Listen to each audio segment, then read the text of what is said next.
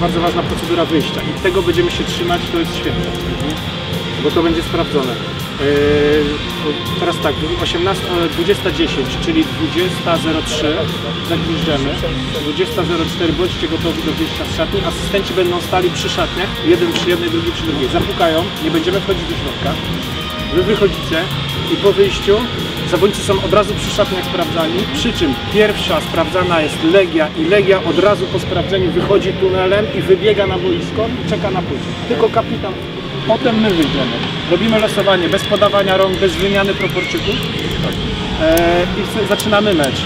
Po pierwszej połowie jest dokładnie ta sama, aha, kiedy, jeszcze o jednym nie powiedziałem, kiedy ja wejdę na boisko, po mnie wychodzi sztab cały Legii plus rezerwowi na swoją ławkę i dopiero jak Legia wyjdzie, wychodzi sztab Miedzi. I dokładnie jest taka sama procedura powrotu i wyjścia na drugą połowę, nie? Czyli najpierw schodzą zawodnicy Legii, zawodnicy Miedzi, sędziowie, ławka Legii, ławka Miedzi i dopiero wtedy jesteśmy w szatni. Będzie sędzia techniczny tu przy tunelu, on będzie tego pilnował. Więc jak jakiś trener będzie chciał o czymś jeszcze podyskutować i tak dalej, to niech sobie poczeka, niech zejdzie normalnie w swojej kolejności do ławki, a dopiero później gdzieś tam w tunelu cześć, możemy sobie porozmawiać, nie? Więc żeby...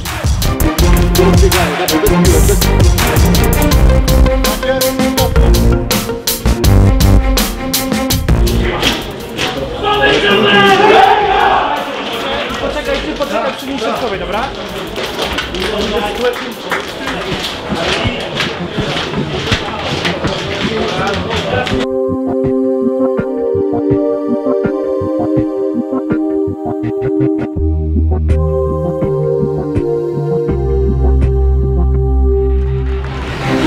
Thank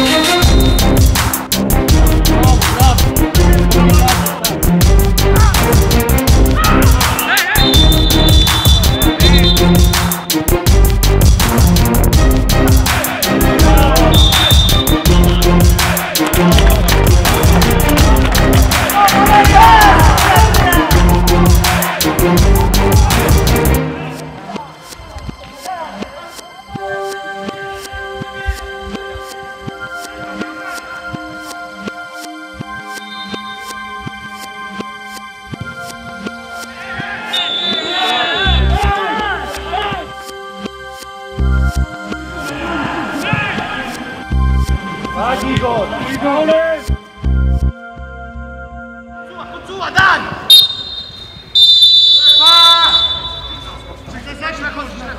Czekajcie, teraz Legia schodzi pierwsza, mieć czeka jeszcze, Legia schodzi pierwsza. Źle chodzi. On źle chodzi. Legia pierwsza schodzi.